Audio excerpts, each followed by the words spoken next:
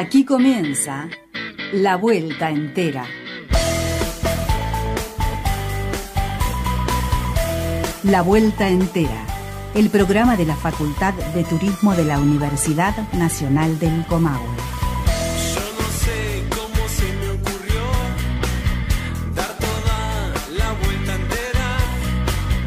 Una mirada reflexiva sobre el turismo, la recreación y las movilidades desde el norte de la Patagonia.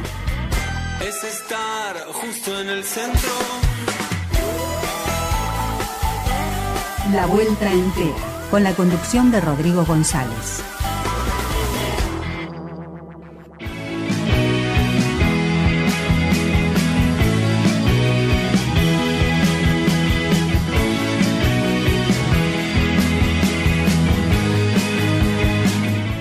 Buenas tardes y bienvenidos a La Vuelta Entera, el programa de la Facultad de Turismo de la Universidad Nacional del Comahue en el aire de Radio Universidad CALF.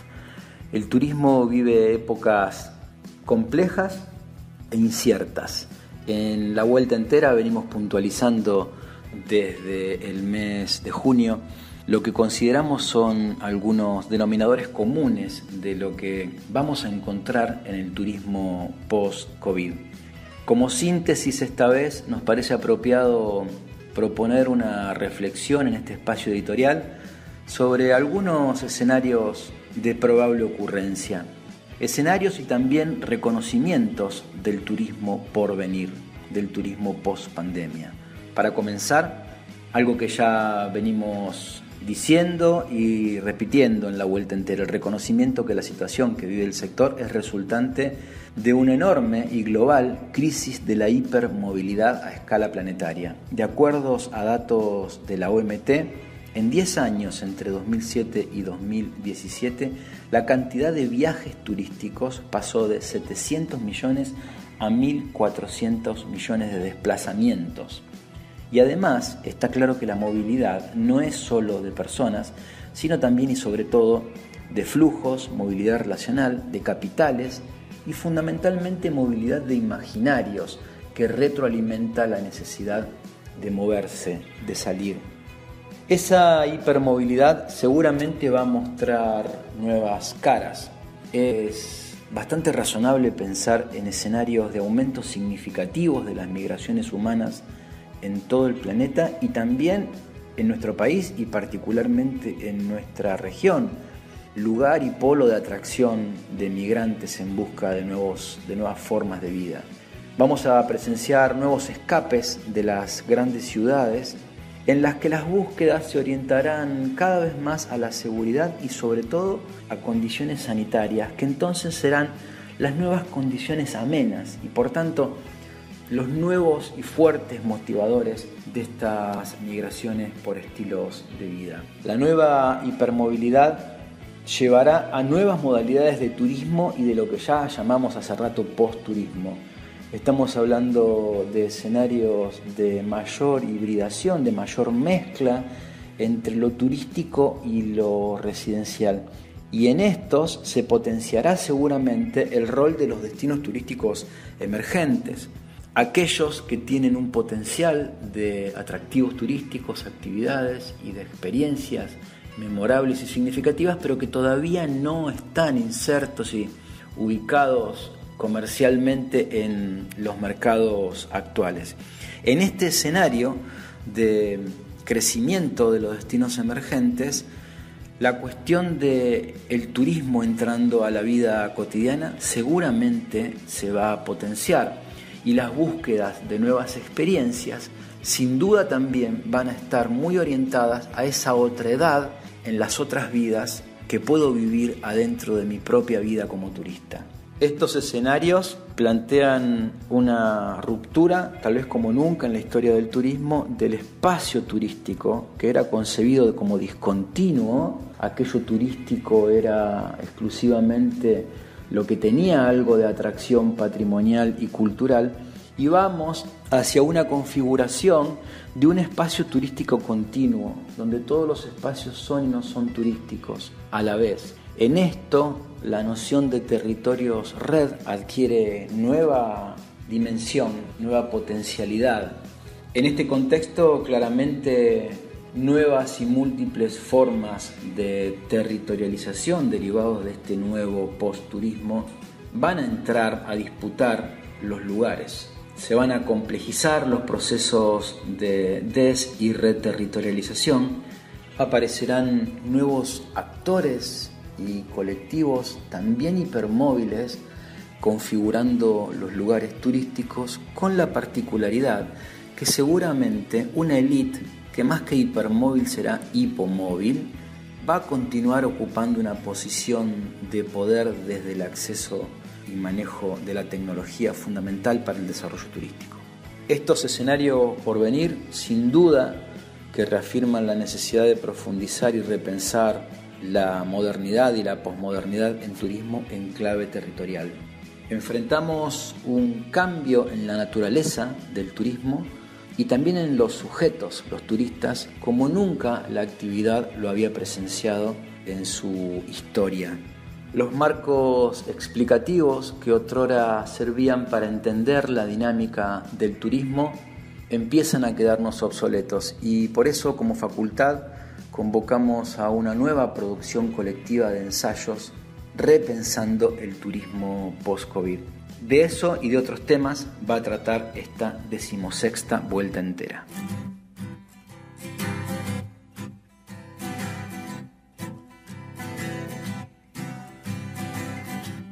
You seem to be having fun, raising your glass to no one, no one.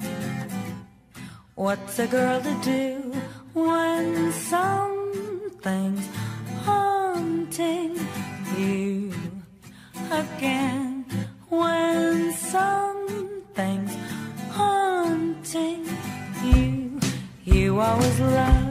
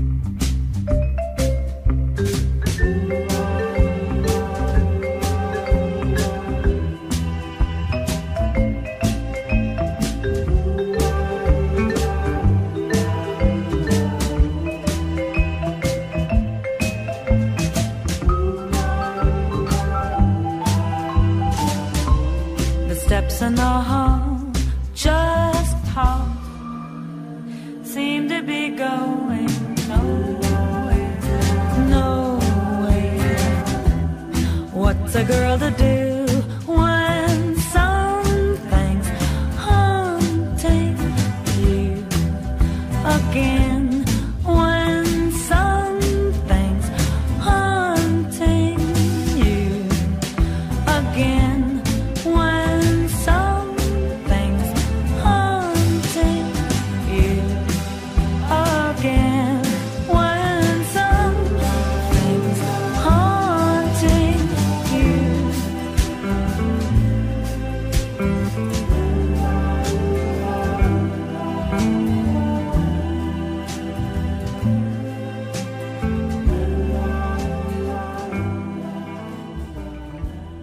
Xian Him, Something Hating You. La vuelta entera. De turismo hablamos así. De regreso en la vuelta entera, el programa de la Facultad de Turismo de la Universidad Nacional del Comahue. La semana pasada inauguramos una nueva sección, Noticias del Sector y Realidad Emprendedora, y hoy queremos compartir con ustedes una noticia y una convocatoria. Eh, En primer lugar, eh, la divulgación del informe Tendencias del Turista 1.9, realizado a partir del grupo Usina Turística, en realidad es su segundo informe con un perfil del futuro viajero y una comparación con los resultados obtenidos y que habíamos divulgado también allá por el mes de junio. El dato más relevante de este nuevo acercamiento al futuro turista es que el 70% de los encuestados esta vez manifestó que realizará alguna actividad turística una vez que se levanten las restricciones, lo que refleja un aumento del 13% respecto al relevamiento realizado en el mes de abril. Asimismo, aquellos que respondieron que no viajarán pusieron como principales motivos la falta de dinero, el 46%, y el miedo a contagiarse, el 41%. Como vemos, dos de las restricciones que sabemos van a estar muy presentes al momento de elegir viajes. Lo que decíamos hace un ratito en la editorial sobre el potencial de los destinos emergentes y consecuentemente también de la potenciación y la mayor fuerza que va a cobrar el turismo interno también se ve en esta encuesta. Mostró que el 93% de las personas realizaría una actividad turística dentro del país, lo que significa un leve pero sostenido aumento del 3% comparado con esas opiniones del mes de abril, al principio del confinamiento. Por otro lado, la encuesta deja ver una marcada diferencia entre las motivaciones para emprender un viaje. El 66% de los entrevistados expresó que el ocio será el principal motor para hacer turismo, seguido por la intención de visitar amigos o familiares, 28%, y razones de trabajo, solamente el 4%. Donde sí aparecen cambios sustanciales desde la percepción y motivaciones de los futuros viajeros, desde que empezó eh, la situación de aislamiento, es sobre los destinos a elegir. Y en este sentido cobran mucha importancia eh, los destinos rurales y alejados de las ciudades que mm, en un principio habían estado a la vanguardia entre el motivo de elección y cayeron casi un 50%. Los que se posicionan, y es una buena noticia para nuestra región, son los destinos de montaña y también de playa fueron consignadas como las dos preferencias de los pasajeros que, según consigna el estudio, se puede explicar porque son destinos de turismo tradicionales de los argentinos y de los periodos vacacionales, tanto de invierno como de verano. Esto traducido podría explicarse como que lentamente el turista potencial comienza a intentar adaptar sus destinos usuales de vacaciones y seguramente las elecciones irán por ese lado siempre con alta demanda de condiciones de seguridad y sanidad. La vuelta entera. Todas las voces de la Facultad de Turismo. Dimos difusión dentro de las redes sociales de la facultad y lo hacemos ahora en la vuelta entera a una opción de bolsa de trabajo. La Dirección de Formación en Turismo del Ministerio de Turismo y Deporte de la Nación abrió la convocatoria a profesionales para el desarrollo y la implementación de las actividades virtuales del, campus Mintur, convocatoria a capacitadores virtuales en el campus Mintur. La convocatoria se enmarca en el programa de formación virtual en turismo que lleva adelante el Ministerio con el objeto de posibilitar una oferta de capacitación flexible y de alcance local e internacional mediante las nuevas tecnologías de la información y comunicación. Entre las búsquedas solicitadas están referidas a aquellos profesionales que tengan conocimiento sobre temas como turismo social, destinos turísticos inteligentes, social media para promoción turística, diseño instruccional, gráfico y multimedia y tutores virtuales. Los requisitos de postulación, tener formación en alguna de las áreas del turismo, hotelería, ciencias de la educación, información virtual u otras disciplinas específicas, ser monotributista, tener predisposición para trabajar en equipo. Hay que cumplimentar un registro y las inscripciones se realizan durante el mes de septiembre para acceder al formulario de postulación. Pueden ingresar a las redes sociales de la facultad donde está posteado o bien ir a campus.ibera con y ibera.gov.ar. Turistas, turistas, viajeros y nómades. La vuelta entera el programa de la Facultad de Turismo. Pasan cosas en la Facultad de Turismo y lo decíamos en el espacio editorial. Es un momento muy propicio para parar la pelota y pensar críticamente el turismo y el post-turismo en contexto de COVID. ¿Cuál será el turismo que se nos viene? Y en ese sentido, lo habíamos comentado, pero avanzamos en eso. La Facultad de Turismo realizó una convocatoria para un segundo libro colectivo, esta vez de ensayos sobre esta temática. Recibimos 21 ensayos que van desde temas como nuevas políticas de gestión integral del turismo, nuevos marcos filosóficos en la recreación, turismo y naturaleza, nuevas modalidades del turismo por venir, las marcas de los destinos, los entornos digitales y los nuevos desafíos en la política del turismo en territorio post-COVID, identidad territorial, cuestiones que tienen que ver con alternativas de desarrollo turístico y también ensayos referidos a los cambios territoriales y sobre la calidad de vida en un contexto de post-COVID. Este libro esperemos pueda ver la luz a través de nuestro polo editorial cerca de este fin de un 2020 bien difícil y que nos obliga a seguir sosteniendo esta mirada crítica pasan cosas en la Facultad de Turismo y la semana pasada pasó algo muy lindo porque retomamos el sendero del semillero de investigadoras e investigadores con un ciclo denominado Conversatorios de Investigación y extensión universitario y formando parte de la agenda virtual del mes del turismo, el miércoles 9 de septiembre se realizó el primero de tres encuentros, el primero de tres conversatorios, en este caso de estudiantes de licenciatura en turismo que compartieron sus primeros pasos en la investigación a través de la presentación de trabajos realizados en el cursado de asignaturas, en particular de la asignatura Investigación Turística y de la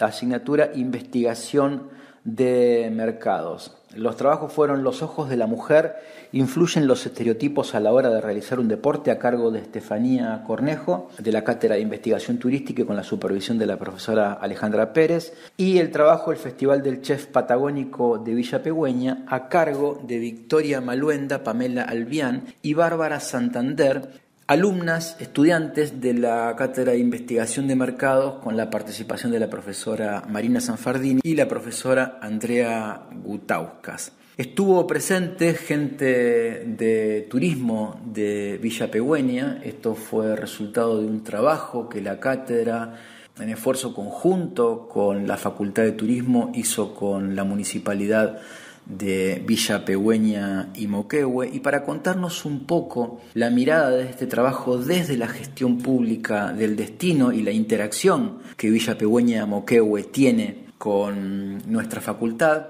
le pedimos su mirada y su opinión a la licenciada Natalia Manabela, directora de turismo de la Municipalidad de Villa Pegüeña Moquehue el vínculo entre la Municipalidad de Villa Pegüeña, Moquehue y la Universidad Nacional de Comahue, específicamente eh, la Facultad de Turismo tiene un trayecto de largo tiempo de trabajo, pero bueno, me voy a centrar en dos actividades puntuales que hemos llevado adelante. Una que son los convenios de pasantías en la temporada de verano 2019 y en la temporada de verano 2020. Nos han visitado estudiantes de distintas carreras de la facultad para hacer trabajos en oficinas de atención al visitante en, en los meses de mayor afluencia de turistas que tiene el destino, que son enero y febrero. Y otra de las actividades que pudimos llevar adelante fue en 2019, en el evento más importante que tiene nuestro destino, que es el Festival del Chef Patagónico, tareas de investigación desde la Cátedra de, Investigación de Mercado, en donde varios estudiantes nos visitaron, estuvieron en el evento relevando datos, eh, hablando con los turistas, hablando con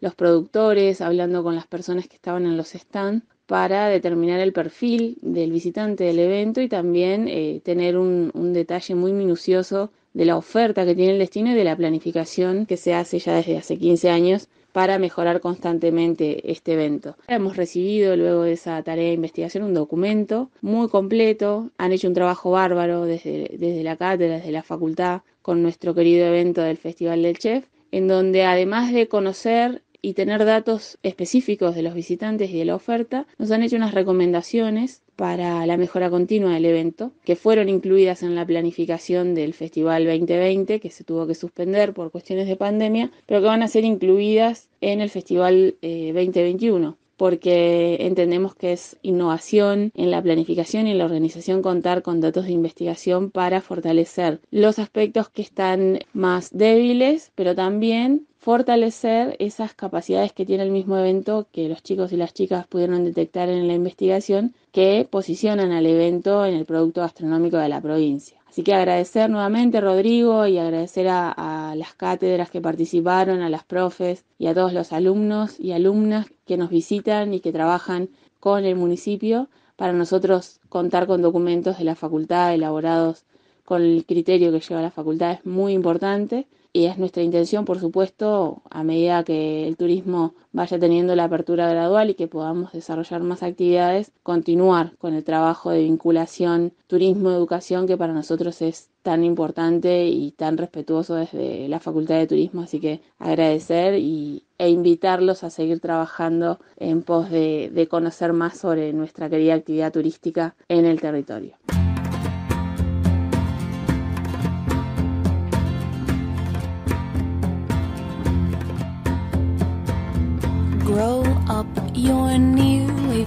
31.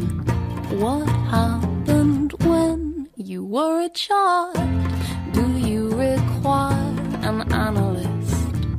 Or will a friendly smile suffice? Find your space. Are you breathing well? Do you feel okay?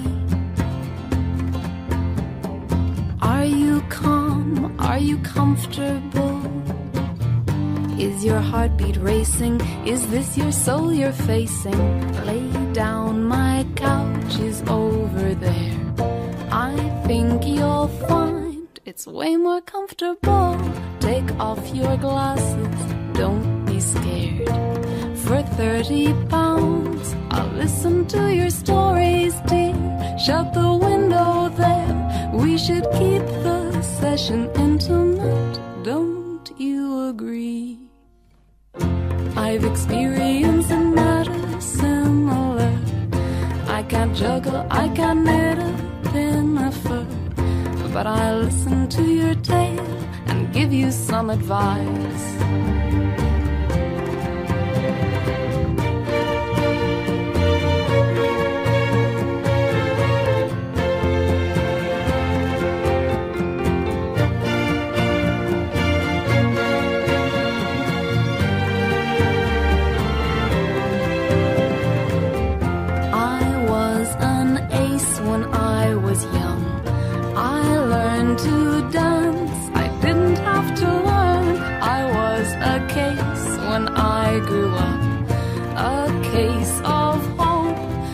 Crashing to the ground. I learned, I hit the skids, and I woke up me, myself, and I was a different person. If I take you on, will you be pliable? As a confidant, I'm quite reliable. Dreamer though you are, it is you that's been my signpost so far. God Help the Girl de Psychiatrist y Sin. La vuelta entera. Todas las voces de la Facultad de Turismo. De regreso para el final de la vuelta entera, como siempre con nuestros avisos parroquiales. Esta va a ser una semana llena de actividades en la agenda virtual del mes del turismo. Se nos viene el Día Internacional del Turismo el domingo 27 de septiembre y esta semana, el 16 a las 11 horas, tendremos la segunda edición del conversatorio El proceso de la investigación y extensión a través de los becarios. Esta vez es el turno de darle voz a los becarios y becarias de investigación para contar y referir sus prácticas de investigación. Y el jueves y viernes una doble cita con las jornadas de CETRIP. El 17 a las 19 horas es el cuarto encuentro de estas jornadas con la charla Turismo Rural Dinamizador del Desarrollo Local. Y el día viernes 18 de septiembre, se cierran las jornadas de CETRIP con la última charla Turismo e Interpretación del Patrimonio, una mirada crítica. Dos avisos importantes. El primero para nuestros estudiantes de grado. Recuerden que el próximo llamado de exámenes finales de la Facultad de Turismo va a ser del 5 al 16 de octubre en esta modalidad virtual que ya hemos comenzado a implementar desde el mes de agosto o septiembre y que las inscripciones están abiertas hasta el 17 de septiembre. Si es la primera vez que vas a rendir exámenes virtuales, recordá leer el protocolo de exámenes virtuales y completar enviar el compromiso de responsabilidad a la Facultad de Turismo secretaría.académica@fatu.uncoma.edu.ar. El segundo aviso es para nuestros estudiantes de posgrado. Pasamos un aviso de algo que vamos a ir comentando en la vuelta entera. El turismo en escenarios de disputas territoriales. Es un curso de posgrado en la modalidad virtual con un total de 40 horas a cargo de una asidua visitante de la vuelta entera de la docente doctora María Daniela Rodríguez. Repetimos, el turismo en escenarios de disputas territoriales.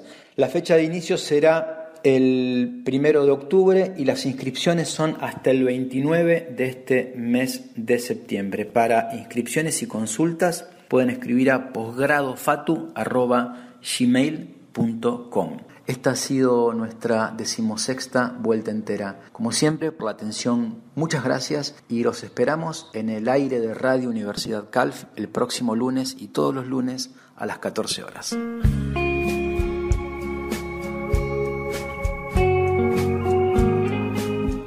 Producción María Gabriela Dupen. Producción y conducción Rodrigo González.